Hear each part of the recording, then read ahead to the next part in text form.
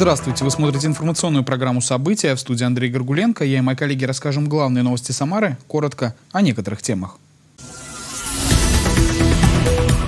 Задействовали все профильные службы города. За минувшие выходные с территории Самары вывезли чуть менее 6,5 тысяч тонн снега. В Самаре выясняют причины конфликта между детьми. В драке учащихся восьмой школы пострадала восьмилетняя девочка. Зарегистрируй, пока этого не сделали за тебя. В 2022 году собственников дачных участков обяжут оформить построенные на их землях дома, чем грозит неисполнение закона. Единственный житель Самарского района, преодолевший вековой рубеж. Свое столетие сегодня празднует Татьяна Бабич. Игрок, который знает, как обыграть мадридский Реал, Фернандо Костанца, пополнил состав крыльев Советов. Оперативно организовать работу всех ответственных структур с учетом метеопрогноза. Такую задачу поставил губернатор Дмитрий Азаров перед главами муниципальных образований на оперативном совещании в правительстве Самарской области. На текущей неделе синоптики прогнозируют потепление и осадки. Температура воздуха в дневные часы достигнет плюсовых значений. Проконтролировать работу управляющих компаний по расчистке от снега подведомственных им территорий было поручено Госжилинспекции региона. Коллеги, уборка снега, расчистка территории, конечно, особое внимание внимание уделить э, очистке крыш. Да, совершенно очевидно, что в период оттепели риски Снегопады были обильные, там, где еще крыши не расчистили, возникают дополнительные риски и угрозы, в том числе здоровью жизни людей. Усилить работы по очистке кровель домов поручила и глава Самары Елена Лапушкина. Расчистка города от снега продолжается в круглосуточном режиме. Задействованы все профильные службы. Только за одну ночь с улично-дорожной сети Самары вывезли около 6 тысяч тонн снега. Тему продолжит Ольга Павлова. Обеспечить жителям комфорт и безопасность при выходах из подъездов, на подходах к детским садам, школам и другим социальным учреждениям. Для этого служба благоустройства и коммунального хозяйства трудится в усиленном режиме. Перед ответственными за уборку и вывоз снега с городских территорий стоит задача содержать в чистоте дороги, внутриквартальные проезды, тротуары, дворы, а также парки, набережную и скверы Самары. С учетом потепления и прогнозируемых новых осадков, власти города поручили усилить очистку кровель домов от снежных масс и наледи. Повышенное внимание обращать на состояние скатных крыш. Их в городе городе около 7 тысяч. Требуется очистить 610, 218 из которых уже сегодня приведут в порядок 70 бригад. Поставлена задача и городским службам, и районным а, главам а, внутригородских районов для того, чтобы не допустить там, где не сбросили и нет э, сегодня возможности или завтра сбрасывать, огородить и наблюдать, и э, количество бригад увеличить на сброс снега. Естественно, с соблюдением мер безопасности. Акцент на расчистку кровель сделан для того, чтобы обеспечить безопасность жителей города, а также избежать схода скопившихся снежных масс и наледи. При этом в приоритете соблюдение техники безопасности как для рабочих, так и для прохожих, подчеркнула в своем инстаграм-аккаунте глава города Елена Лапушкина. Главам районов поставлена задача не сбавлять темп работ во дворах, держать на контроле работу управляющих компаний. Те коммунальные организации, которые не справляются со своими обязанностями, завтра приглашены на штаб по санитарному содержанию. Планируется, что он пройдет с участием представителей ГЖИ. Адресно разберут каждую ситуацию. Замотивировать их, чтобы они выполнили свои обязательства перед гражданами, но если это делать не будут, то мы будем точно ставить перед этими директорами и учредителями управляющих компаний, пусть они уходят из этого бизнеса. Они берут деньги, не отвечают перед жителями. Жесткие меры будем принимать.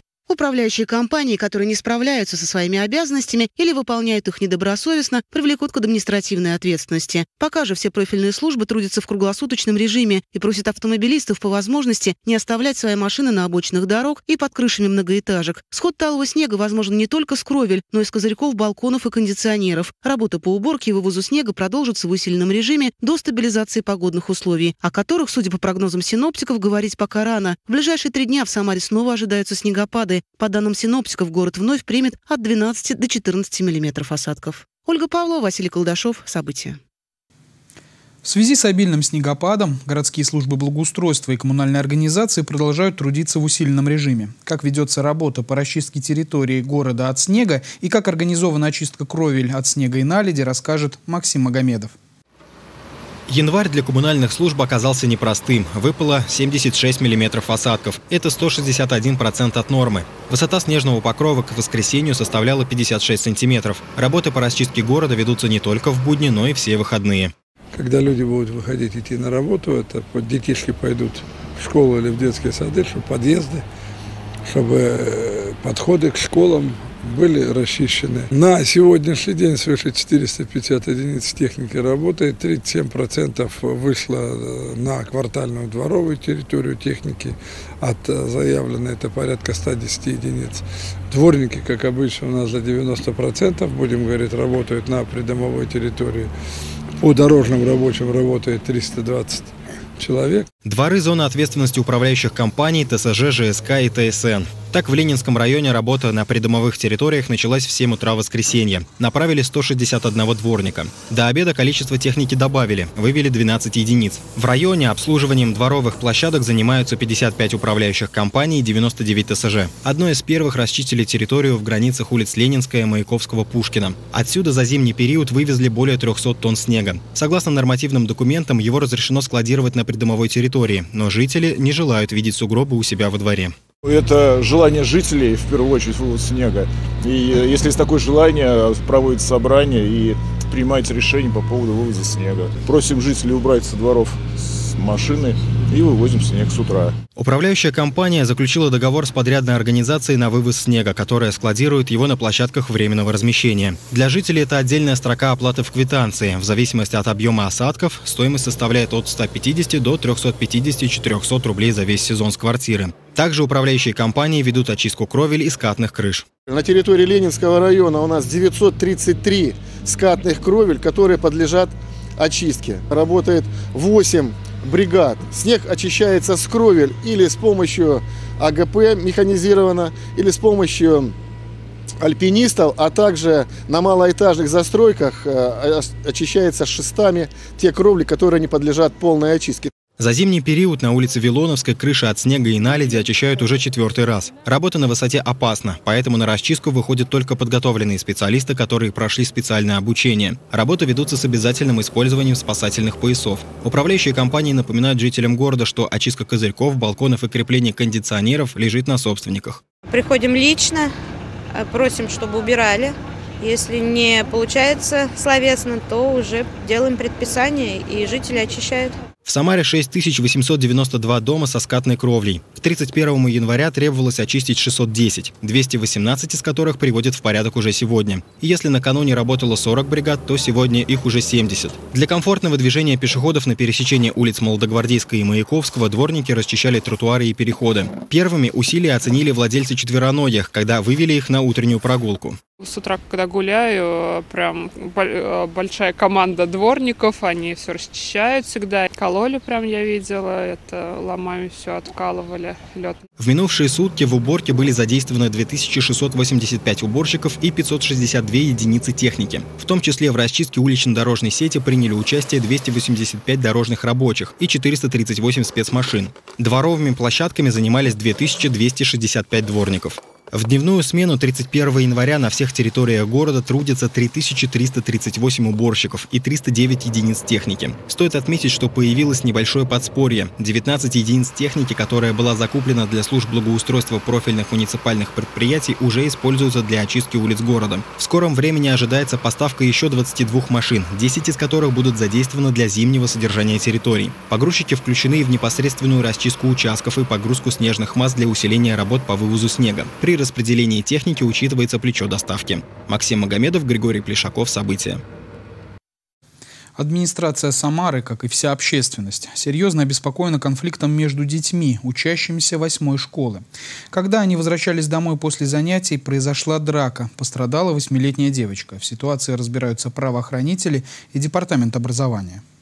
В целях всестороннего рассмотрения данного инцидента Департаментом образования проводится проверка в школе номер 8 Изучаются такие направления работы учреждений, как профилактика негативных явлений при общении между детьми, работа школьной службы медиации.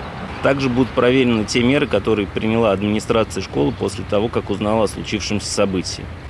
Мы детально разбираемся в ситуации, и если выяснится, что в чьих-то э, действиях были нарушения, будут приняты соответствующие меры. Работа по взаимодействию между детьми и родителями также будет продолжена. Э, хочу отметить, что э, совместные встречи проводятся с представителями Департамента образования, Министерства образования и науки Самарской области, э, региональной службы примирения, психологов.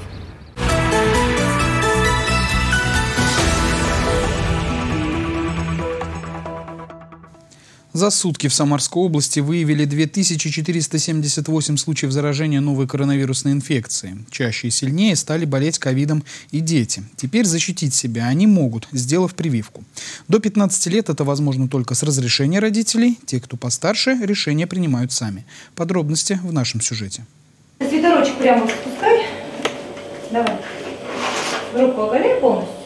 В регионе началась прививочная кампания от COVID-19 для подростков. Отечественная вакцина «Спутник М» рассчитана для детей от 12 до 17 лет. Она разработана научным центром имени Гамалеи и состоит из двух компонентов. Чтобы сделать прививку, нужно получить заключение врача. Ирина Симакова рассказывает, в семье привиты почти все. Она, муж, старший сын и бабушка. Прививки не было только у сына Алексея. Поэтому с ним старались лишний раз из дома никуда не выходить. Теперь можно не беспокоиться о здоровье ребенка. Мы ходим по торговым центрам, он тоже хочет, ему хочет свой QR-код. Ну и вообще, конечно, хотелось бы, чтобы защита была от этой болезни страшной.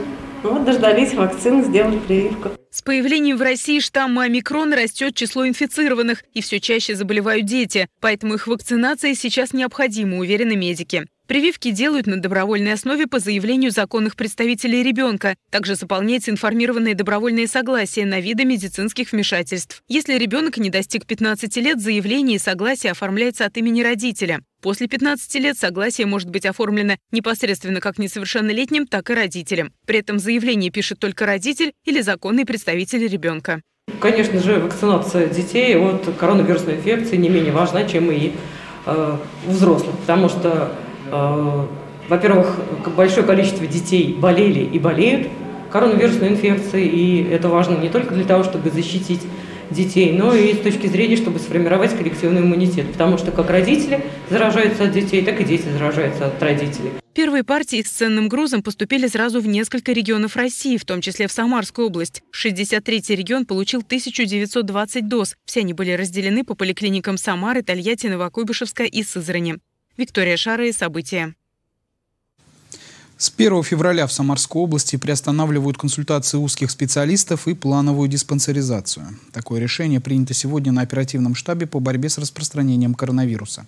Это связано с ростом заболеваемости во всех возрастных группах и, как результат, увеличением нагрузки на всех медработников. Ограничения не коснутся работы стационарных отделений больниц. Плановые госпитализации продолжатся. Кроме того, с 1 февраля дети и подростки до 18 лет не смогут посещать учреждения культуры, театры и библиотеки ипотеки. Пока эта мера вводится на две недели. Обучение в школах региона продолжится в очном формате, но в случае ухудшения эпидситуации в конкретном муниципалитете или учебном учреждении решение о локальном карантине будет приниматься муниципальным штабом. В Самаре продолжаются проверки масочного режима в общественном транспорте. Только за прошлую неделю на нарушителей было составлено 60 материалов. Особое внимание уделяют не только пассажирам, но и сотрудникам транспортных предприятий. Слово Мария Лчан.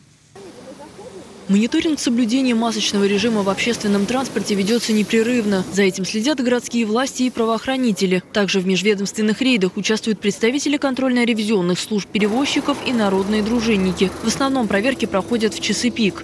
Угроза распространения новой коронавирусной инфекции, она никуда и не исчезла, не миновала. Напротив, ежедневно мы из новостей узнаем, что появляются новые штаммы вируса, более опасные, вызывающие необходимость каких-то дополнительных ограничительных мер. Поэтому в этих условиях еще раз хотелось бы всем напомнить, что маску нужно носить, использовать ее до конца поездки. Только за прошлую неделю на нарушителей составили 60 протоколов. За весь период пандемии оформлено 1150 штрафов, которые направляются в суд, где принимаются решения с учетом всех обстоятельств совершения правонарушений. Чаще всего штрафные санкции касаются тех, кто во время поездки не позаботились о наличии маски или отказались ее использовать, подвергая риску заболевания коронавирусной инфекцией себя и остальных пассажиров. Суммы штрафов могут доходить до 30 тысяч рублей. Если же такое правонарушение совершено повторно, предусмотрено наложение штрафа в размере до 50 тысяч. Люди разные бывают. Кто-то спокойно относится, а кто-то негативно. Кто как к своему здоровью относится, если правильно сказать. Процессе рейдов особое внимание их сотрудникам транспортных предприятий, которые организуют перевозку. Отдельные кондуктора и водители все еще пренебрегают мерами профилактики. Пассажиры могут сообщить о нарушениях масочного режима и других санитарных требований в транспорте по телефонам горячей линии, которые размещены в салонах общественного транспорта. Никто не заинтересован, чтобы не предприятие наказали, ни э, экипаж э, не досчитался в своем кошельке там, материальной э, помощи. Поэтому все очень э, ответственно подходят к ношению защитных средств, так как это уже не первый год. Кроме того, для безопасности пассажиров в период пандемии весь подвижной состав регулярно моют и дезинфицируют. Эта работа на транспортных предприятиях организована круглосуточно. Салоны машины, вагоны обрабатывают специальным раствором. Во время всех поездок функционируют рециркуляторы для очистки воздуха от вирусов и бактерий. Мария Елчан, Константин Головин. События. Далее в эфире новости экономики. Их подготовила Светлана Кудрявцева. Светлана, здравствуйте. Приветствую вас, Андрей, и уважаемые телезрители. Аналитики посчитали, что в стране копит деньги лишь каждый четвертый россиянин. Сколько при этом откладывают в месяц? Суммы небольшие, я их чуть позже озвучу, а пока о федеральной поддержке, которую Самарская область получила на интеллектуальную транспортную систему. В ближайшие три года региональные власти планируют внедрить интеллектуальную транспортную систему управления дорожным движением в Самарско-Тольяттинской агломерации, которая уступает по величине только столичным. Финансирование идет из федерального бюджета. На период с 2022 по 2024 годы выделили миллиард шестьсот девяносто миллионов рублей. Создадут подсистему управления транспортными потоками, центр обработки данных, центр диспетчеризации, мониторинга и управления. Лишь каждый четвертый россиянин копит деньги, при этом большинство из них откладывают менее 5 тысяч рублей в месяц. По словам аналитиков, 20% опрошенных могут откладывать от 5 до 10 тысяч рублей. Больше 20 тысяч удается скопить только 7% опрошенных. Чаще всего россияне откладывают деньги на крупные покупки, например, на недвижимость, автомобили, бытовую технику, а также на путешествия, образование, подушку безопасности к пенсии. По данным Центробанка, в прошлом году граждане хранили в кредитных организациях почти 35 триллионов рублей. Бензин в России увеличился в цене на 8,6%. В среднем его стоимость составляет 51 рубль за литр. Дешевле только в Казахстане, где в пересчете на рубли цена литра 95 марки бензина составляет 35 рублей 7 копеек. Третье место в рейтинге самого недорогого бензина у Белоруссии – около 60 рублей. Самый дорогой бензин из стран Европы продается в Нидерландах – 169 рублей за литр. При этом цены на бензин выросли абсолютно во всех всех странах рейтинга. Официальный курс доллара на 1 февраля 77 рублей 47 копеек, евро 86 рублей 50 копеек, нефть марки Brent 90 долларов и 84 цента за баррель. На этом пока все. Оставайтесь с нами и будьте в курсе. Во всех городах России в 2022 году пройдет массовая государственная кадастровая оценка земельных участков, независимо от их категории. Такие мероприятия Федеральная служба государственной регистрации, кадастра и картографии проводила и раньше. Обычно это делается раз в три года. Кроме того, собственников обяжут оформить построенные на садовых участках здания. В противном случае это сделают муниципальные власти. Подробности в нашем сюжете. Оформите документы на дом, расположенный на садовом участке, пока это не сделали за вас. Многие россияне не торопятся узаконить постройки на своей даче и годами используют объекты, которые юридически имеют статус недостроенных. А муниципальные власти, как правило, никакого контроля за этой ситуацией не ведут.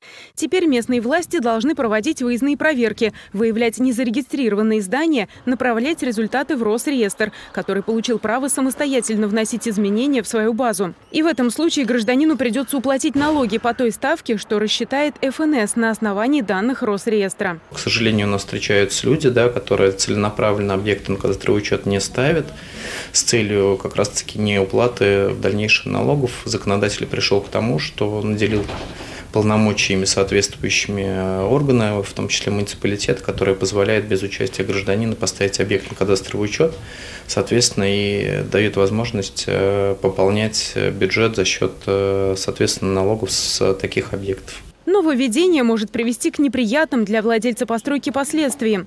Согласно письму ФНС от 18 января текущего года, если налоговикам поступят сведения о наличии нежилого здания на садовом участке, то такой постройке автоматически будет присваиваться налоговый статус жилого дома. А значит, платить за него придется больше. Под зданием будут понимать строение сезонного или вспомогательного использования, предназначенные для отдыха и временного пребывания людей. Чтобы избежать подобных споров, лучше оформить документы на дом самостоятельно. При этом оформлять в собственность другие дачные строения, к примеру, деревянный сарай, никто не требует. Речь идет только о дачном доме. Подлежат обязательному оформлению те объекты, которые являются объектами недвижимости. Не каждая постройка хозяйственная, не каждый сарай а, может быть отнесен к объектам недвижимости. Первый признак – это наличие капитальности, да, прочной связи с земельным участком, то есть должен быть фундамент. Если у вас стоит э, сарай под складирование э, огородного там садового инвентаря, ну, конечно же, это вряд ли можно отнести к объектам недвижимости. Если дом на участке не оформлен в собственность, могут возникнуть и иные проблемы. К примеру, если вы решите дачу продать, передать по наследству, или если государство решит построить на территории, где расположен ваш участок, дорогу или какое-то сооружение. Естественно, тут вопрос станет в, цене а, земельный участок с оформленными объектами недвижимости на рынке стоит значительно дороже, нежели просто земельный участок, который содержит объект недвижимости не оформленный. Опять же, я здесь сказал, что есть вопрос с соседями, вопросы э, изъятия. Если будет изыматься земельный участок, на котором находится жилой дом, не оформленный, то компенсацию вы получите исключительно за земельный участок. Никто в расчет не будет брать то, что там находится объект, э, жилое строение, в котором вы проживаете, и взамен вам ничего иного, кроме денежной компенсации, не дадут. И здесь вопрос именно ну, как бы в финансовых потерях станет ваших. Стоит учесть, что россияне имеют право на льготу по налогу на имущество в отношении одного хозяйственного строения или сооружения до 50 квадратных метров, в том числе на садовом участке. Возможно, кому-то выгоднее, чтобы одно из имеющихся хозяйственных строений учитывалось как жилой дом. Ведь ставка по ним ниже, чем по прочим объектам. Например, для пенсионеров, людей предпенсионного возраста и прочих льготников, так как эти категории освобождаются от налогов по одному объекту за исключением нежилых. Правда, стоит учитывать, что строение, признанное домом на садовом участке, может быть максимум в три этажа и не больше 20 метров в высоту. Кроме того, оно должно соответствовать градостроительным регламентам и правилам застройки. Виктория Шарая, Николай Епифанов. События. Исключительный день рождения сегодня отметила жительница Самары. В прошлом школьный учитель рисования и черчения Татьяна Ивановна Бабич, пока единственный житель Самарского района, который дожил до своего столетия. Несмотря на войну, нелегкий трудовой путь и потерю самых близких, Татьяна Ивановна называет себя счастливой. Почему, узнала Гульфия Сафина. С днем рождения! Всего вам самого-самого замечательного. Здоровья, здоровья вам, здоровья вашей семье, вашим Спасибо. близким. Спасибо чтобы все желания ваши исполнялись. «Я самая счастливая», утверждает Татьяна Ивановна Бабич. Сегодня она стала первым и пока единственным жителем Самарского района, которому исполнилось 100 лет. Рассказывает, за эти годы судьба подарила ей главное – любящих и заботливых детей и внуков. Это мой дед, вот Верочка, дочка средняя, старшая дочка, и сынок, у меня трое детей. Трое детей, четверо внуков и пять правнуков. Пышные букеты родные сегодня присылают из разных уголков страны. Бывшая учительница черчения Татьяна Ивановна хорошо помнит и войну, и голод. Тогда она жила в Свердловской области. Там окончила архитектурный, встретила будущего супруга Ивана Алексеевича, с которым прожила 60 счастливых лет. На вопрос, в чем секрет долголетия, отвечает просто. Долголетие в том, что нужно физически трудиться всю жизнь, не сидеть, быть в движении. Радуюсь тому, что мне много лет, а я еще все-таки более-менее. Вся жизнь Татьяны Ивановны – пример того, как нужно воспринимать трудности и проживать каждый день. Например, в 95 женщина увлеклась рисованием. Теперь ее картины украшают дом. С исключительным юбилеем Татьяну Ивановну от имени города и области поздравили глава района Роман Радюков и депутат городской думы Сергей Рязанов. Очень приятно, что помнят все-таки. Вот, конечно, приятно. Гульфия Сафина, Николай Сидоров. События. На этом наш выпуск завершен. Все наши новости читайте на официальном сайте Самара ГИС, в телеграм-канале и на страницах в социальных сетях. Всего доброго. До встречи.